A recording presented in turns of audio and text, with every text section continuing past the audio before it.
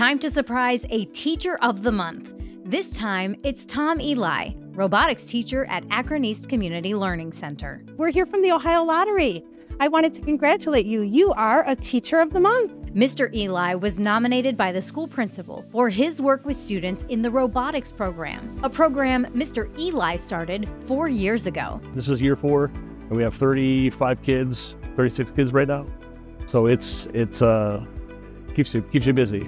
It's a lot of energy. Mr. Ely's work with the students happens inside and outside of the classroom, building robots and attending competitions with the goal to get the kids thinking about a career in engineering. When they win awards and they're happy, uh, it's crazy to see the energy that they bring. It just that's you feed on that. Sometimes they'll come back when they're getting ready to graduate. Sometimes they come back after they graduate and they say, you know what, I just I decided I wanted to get an engineering. His efforts don't go unnoticed by students. This is my favorite class to come to. He's hardworking. He always wants to do stuff that's better for his students and all that.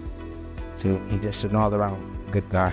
Teachers of the Month receive a prize pack, including a $500 gift card. And Mr. Ely already has plans to invest his prize back into the robotics program and his students. Doesn't surprise me that Mr. Ely wants to put it right back into the kids, right back into his program. It's it's never about him and he's just he's such a special person in our school and he deserves all of this. Learn more about the Partners in Education program by visiting ohiolottery.com/partners.